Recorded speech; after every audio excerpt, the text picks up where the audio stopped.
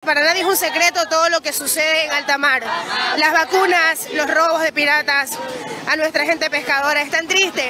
O sea, no hay alimentos, si se desayuna no se almuerza, si se almuerza no se merienda. Entonces lo que queremos es que las autoridades reaccionen.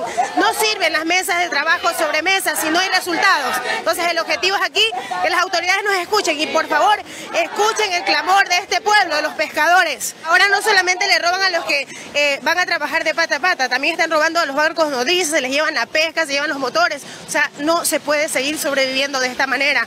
Por nuestros hijos, por nuestras mujeres, por nuestras familias, debemos de accionar. Y este es el clamor de un pueblo que, como usted lo ve, se han levantado los pescadores y las mujeres para pedir, obviamente, ya un accionar positivo en nuestras autoridades. Queremos seguridad para los